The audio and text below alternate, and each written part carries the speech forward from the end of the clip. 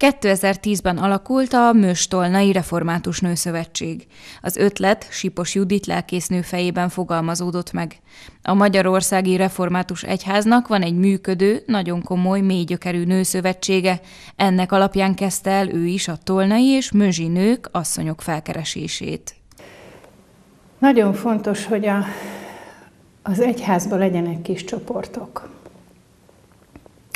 És így a mi Möstolnai Református Társegyház községünkben is úgy éreztem, hogy, hogy valamilyen kis csoportnak életre kell kelnie.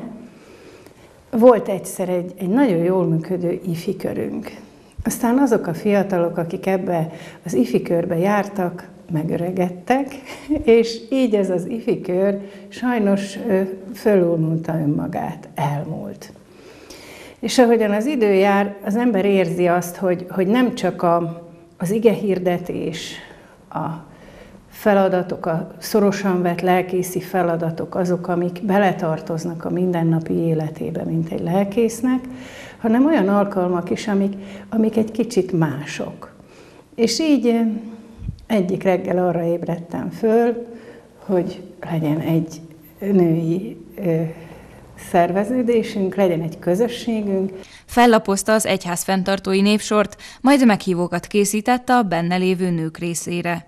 Az elkészített meghívókat kerékpárral hordta ki, és invitálta a nőtársakat, hogy csatlakozzanak a kezdeményezéshez. Az egyik kedves testvérünk, aki mondhatni, hogy rangidős a nőszövetségbe, tízesztendővel ezelőtt azt mondta, hogy tiszteltes nő, ne biciklizzen maga mert meglátja, hogy nem lesz ennek eredménye.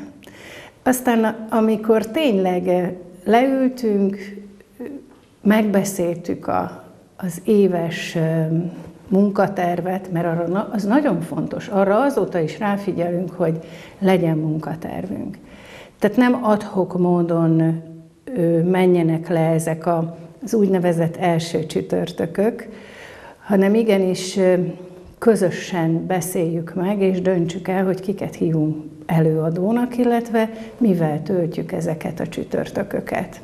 Ez volt az a kezdő kis sejt, és hála Istennek a, az első tagok közül szinte majdnem mindannyian megmaradtak. Hol jöttek újak, hol valamiért kimaradtak, változott a létszám, ma körülbelül 20 vagyunk, ez sem olyan ö, biztos szám, de alapvetően mi nem is azt számláljuk, hogy hányan vagyunk, hanem azt, hogy mikor lesz első csütörtök, és mikor jövünk össze, és ha valaki esetleg, mert ezeket az alkalmakat mi mindig meghirdetjük az Isten tiszteletek végén, ha valaki olyan előadónk jön, aki, aki talán még többet hoz a maga előadásával. A téma igazából kicsit közéleti is, kicsit az egészségre is hajaz, a szociális problémákra, tehát az élet minden területére, akkor lehet, hogy a gyülekezet tagjaiból is eljönnek. És, és vannak olyan alkalmaink, amikor, amikor meghirdetjük például a Facebookon is, és nem csak a gyülekezet tagjai vannak itt, hát a Nőszövetség maga, hanem még a városból is várunk vendégeket. Igen. Minden hónap első csütörtökén jönnek össze a Nőszövetség tagjai. A programokat évelején előre leegyeztetik. Mindenki végig gondolja, hogy abban az évben mivel szeretnének foglalkozni, és kik azok az érdekes emberek, előadók, akiket elhívnának. Az elmúlt évek azt mutatják, hogy a paletta nagyon színes, hiszen a Biblia növényvilágától elkezdve távol-keleti úti beszámolókon át mentálhigiéniás előadásig minden érdekességről szó esett már. Összevárjuk egymást, hol itt ebben a teremben, hol a belsőben, attól függ, hogy milyen a téma, hogy mivel foglalkozunk, van-e előadónk. Elfoglaljuk a helyeinket, és elcsendesedünk, és én köszöntöm őket egy igei köszöntéssel, aztán legtöbbször énekelünk egy Zsoltár verset vagy egy dicséretet, én felolvasok a Szentírásból egy igét, vagy egy hosszabb szakaszt, arról néhány szóba elmondom a gondolataimat, amit számomra ez az ige üzen. Némelykor bólogatnak, hol így, hol úgy, ami éppen a, az alkalomhoz és a, a prédikációhoz tartozik, és aztán imádkozunk, elmondjuk a mi atyánkot, én egy áldást mondok, és utána kezdődik el az alkalom. Tehát egy kicsit ez a nőszövetségi összejövetel Biblia óra is. Sőt, vannak olyan alkalmak, hogy az asszonyok maguk mondják, hogy most ne hívjunk vendéget. Ez csak Biblia ismereti óra legyen. És nagy örömmel hozzák a szentírásaikat. És azt is tudjuk, hogy a szentírásnak több fordítása van, és az egyik ilyent hoz otthonról, a másik éppen a másik fajtát. És én szoktam valamiféle feladványt adni a Szentírásból, kikeresek eh, igehelyeket, és aztán nekik van egy kis lapocskájuk, az, arra már felírtuk a rövidítéseket, és az alapján elindul a keresés, és kitalálja meg legelőször. Tehát igyekszünk ezeket az alkalmakat nagyon alaposan és tartalmasan megélni. Úgy próbálunk beletenni mindent a körülöttünk való világból is, és magunkból is, hogy az a legtöbb legyen. Sokat kirándulnak. Először a helyi nevezetességeket nézték meg, majd a környező települések tájházait, múzeumait. De nem áll tőlük távol az sem, hogy néha megvendégeljék egymást saját otthonukban. Aki belekapcsolódott egy-egy programunkban, például még nem említettem a kirándulásainkat, mind elégedetten nyugtázta azt, hogy ő nem is tudta, hogy itt ilyen kis csoport működik, és, és az a jó benyomás, az a kellemes élmény, ami mind külsős érte, ez szinte egy, egy életre szóló emlék maradt és ez nagyon jó érzés. Volt egy, egy kisebb kis áhítat, a gyerekek alkalmát se hagyjuk ki, és, és először láttam, hogy olyan csodálkozva néz végig mindent.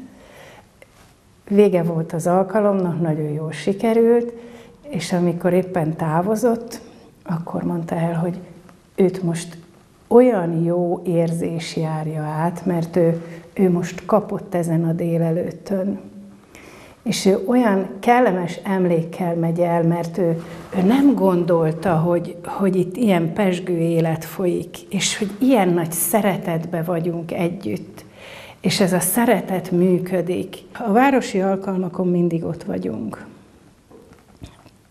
És azokon a városi alkalmakon biztos, hogy elfogult vagyok, de ezek az asszonyok nagyon oda teszik magukat, mindig ö, úgy ö, szervezik és, és úgy valósítják meg annak az alkalomnak a célját, ahogyan azt illik és kell.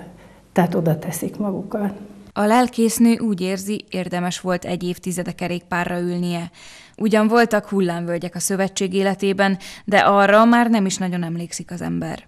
A tíz év csak úgy elillant. Az összejövetelek alkalmával a legfontosabb, hogy mindig legyen ige. Ha vendég előadó jön, ha vetítés van, történjék bármi, ige nélkül nem éljük az életünket, mondta Sipos Judit, református lelkész. Nagyon nagy öröm számomra.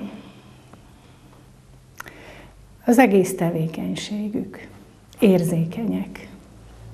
A mai világban nagyon fontos, hogy érzékenyek legyünk mint ahogyan én is az vagyok, és a körülöttem lévők is azok. Jó érezni, hogy számon tartanak mindent. Tehát mind egy nagy család. Jegyzik, hogy kinek van öröme, kinek van bánata. Amikor gyerek születik, akkor egy jelképes ajándékkal kedveskedünk, amikor házasodnak a a fiatalok, akkor is teljesen természetes, hogy, hogy készítenek ajándékot. De amikor valaki meghal, akkor is úgy állnak oda egyként, akár a gyülekezetből, akár a, a nőszövetség tagjainak a, a családjaiból. Azt, hogy fáradozni kellett érte, egyáltalán nem bánom, és elmondtam nekik a jubileum alkalmán, hogy ha bármi történnék is, őrizzék meg ezt a kis csoportot, mert ebből lehet tovább indulni. És jó bázis a nőszövetség. Tehát, hogyha segíteni kell, ők az elsők. És az, amit így egyszerűen tesznek, az nem is tudjuk, hogy mekkora igénye a világnak, ami körülvesz bennünket. Hogy mennyire fontos az, hogy, hogy úgy forduljunk a másik ember felé, hogy abba ott legyen az empátia, a ráérzés, az együttérzés, a, az emberség maga. Az ige nem maradjon ki, mert az hozzá tartozik a mi életünkhöz. A zsidókhoz írt levélből a 13. rész első és második verse, a testvéri szeretet legyen maradandó. A vendégszeretetről meg ne feledkezzetek, mert ezáltal egyesek, tudtukon kívül angyalokat vendégeltek meg. Némelykor én is úgy érzem, hogy az angyalok vannak itt körülöttünk, az Isten szeretete, ami fölkarol bennünket, és ami, ami ezekbe a, az alkalmakba adatik számunkra, úgy gondolom mindannyiunknak maradandó értéke, és Isten áldása van rajta.